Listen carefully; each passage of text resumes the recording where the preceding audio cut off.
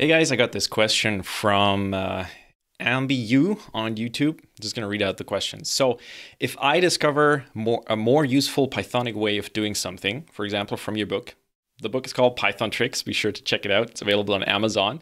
Um, but it doesn't make sense to use it in any of my current projects to practice. How can I remember to use it in the future when it is relevant? I have FOMO, fear of missing out, for that sort of thing. So I thought that was a really, really interesting question. So I want to uh, discuss it in this video. Now, what I would encourage you to do, because this is, you know, it's an understandable uh, uh sort of fear that you're seeing something cool and you want to remember to actually use it. Um, what, what I would encourage you to do is to have some sort of journal um, some application. I don't think it makes sense for this to be paper based. So I, I would do that in, uh, in some kind of app that you can just add notes and uh, make them searchable. Um, I actually blogged about this in the past, um, just the system that I use, and maybe I'll do a video on that in the future, just kind of run people through it. Um, there are a couple of options that are really great for software developers, um, and uh, the the tool that I used in the past I actually just switched to something else. But what I used in the past and really enjoyed was called uh, or is called Quiver. It's uh, a note-taking app for for developers, and you can do cool things. You can add like little, um, I believe you can do UML diagrams, and you can uh, just add code snippets, and it's kind of, all kind of in there and I I think that is a great choice for for keeping your thoughts around. I actually well now a while ago I switched to just um, an app called Simplenote, and I use that to synchronize my notes um, across all of my devices. You know I have I have them on my phone, um, I have it on my iPad, I have it on all of my computers, and that way I can always access these notes and I can just drop in a new note. And uh, at least at the time, Quiver didn't do that. And I really wanted that functionality because I often, you know, I go for a walk or I sit down in the morning and I just want to add a quick note and I don't want to necessarily like have to walk up to my computer to do that. I just want to, you know, pull up my phone and do it there. So um, I'm using Simplenote now. It's a free app. You could just go with your phone's note taking app, to be honest. Doesn't really make a big difference. Um, if you want to go nuts with this process, you could probably also start some kind of personal wiki, you know, just spin up some wiki uh, wiki system on um, on on a web server, and um, you could also use that and build a system that you can access from anywhere in the world. Uh, maybe the user experience won't be that great compared to like a native app on your phone, for example.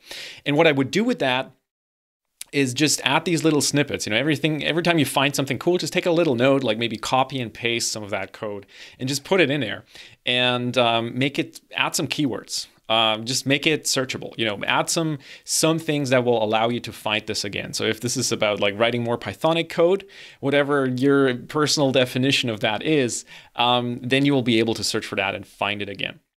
So I would definitely encourage you to do this journaling. Um, you know, it's it's not well, maybe journaling is actually is not the right word for that kind of system. It's more like um, filing these little things and building up sort of a library of these little snippets and little um, you know um, hints that that you can use when you're working on a problem. And, and, I've absolutely benefited from that. You know, it's a lot of times it's like my personal version of, of Stack Overflow, and I just punch something in, and, and, I'm like, oh yeah, I did that in the past, and that way I can find it again.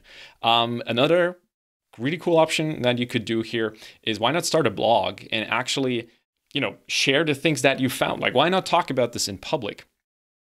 Um, because that has a number of benefits. A, you're gonna write down the stuff, you're gonna find it again, and B, it's also going to be, you know, it's all this is coming back is going to be coming back to you because you're building up a public portfolio and you're kind of uh, showing the world that that you're a great programmer because you're sharing your knowledge and you're sharing the things that you learned. And you know it's just it's just a way for for you to um, to show that expertise and that you care about your craft because many people just don't. So this will put you on top of of the pile in a lot of cases right? Just make you stick out. So I don't know if you feel comfortable with that I don't do it. I sort of you know take the best stuff I learn and then turn that into articles and blog posts, but I don't like just you know take notes publicly in that sense.